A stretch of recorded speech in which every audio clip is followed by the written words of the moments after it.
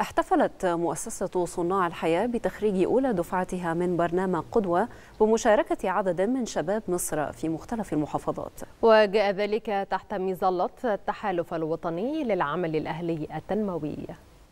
بمشاركة عدد من شباب مصر من مختلف المحافظات احتفلت مؤسسة صناع الحياة إحدى كيانات التحالف الوطني للعمل الأهلي التنموي بتخريج الدفعة الأولى من برنامج قدوة والذي يهدف إلى تشجيع الطلاب على التطوع. إحنا النهارده جايين بنعمل حفلة تخريج مشروع قدوة الشباب بتوع مشروع قدوة ودول ببساطة شديدة دول الشباب اللي إحنا بنشجعهم على التطوع في المدارس وفي المحافظات. إحنا اشتغلنا السنة دي على 20 محافظة. ال 20 محافظة جذبنا 4000 طالب ما بين المرحلة الثانوية والإعدادية.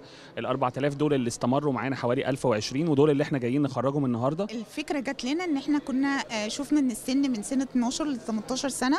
ده سن مهم جدا.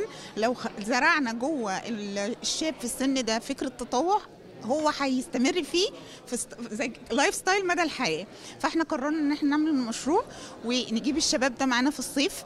عشان يقضي وقت فراغه معانا في حاجة مفيدة وفي نفس الوقت والأهم من ده كله عشان نعلمه حاجتين مهمين جدا إن هو يفكر بصيغة نحن لأن السن ده شوية بيقول أنا أنا أنا فإحنا عايزينه يفكر بصيغة نحن وفي نفس الوقت يبقى كمان منتج. وخلال حفل التخرج عرض شباب برنامج قدوة مجموعة من المبادرات التي تهدف إلى تقديم خدمات مجتمعية للمواطنين. مشروع قدوة هو بيهدف إن الطلبة هي اللي بتخلق مبادرات بتفيد الدولة يعني في جمهورية 2030 المبادرة دي بتتكلم عن إن في ناس كتير مش عندهم حب للقراءة أو في ناس كتير مهتمة بالقراءة بس عشان الأسعار الغالية للكتب فإحنا عندنا المبادرة دي بتعتمد على التبرع والتبادل. البرنامج يستهدف طلاب المرحلتين الإعدادية والثانوية في العمل الميداني التطوعي لاستثمار طاقتهم وتوجيهها لمبادره إيجابية لبناء المجتمع المصري بالإضافة إلى تنمية مبدأ الإيجابية والانتماء لغرز قيمة العمل التطوعي.